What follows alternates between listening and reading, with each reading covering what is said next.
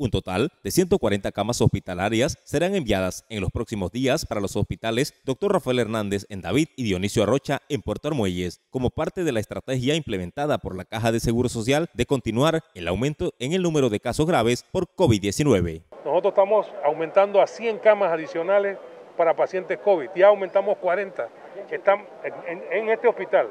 Estamos mandando eh, cerca de 30 camas más para Puerto Armuelles.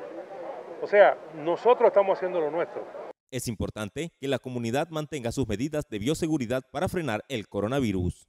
Lo que el doctor ha querido decir hoy es que va a poner las camas necesarias aquí en Chiriquí para que en el hospital Dionisio Rossi y el hospital doctor Rafael Hernández haya camas suficientes para atender a la gente que demande el servicio.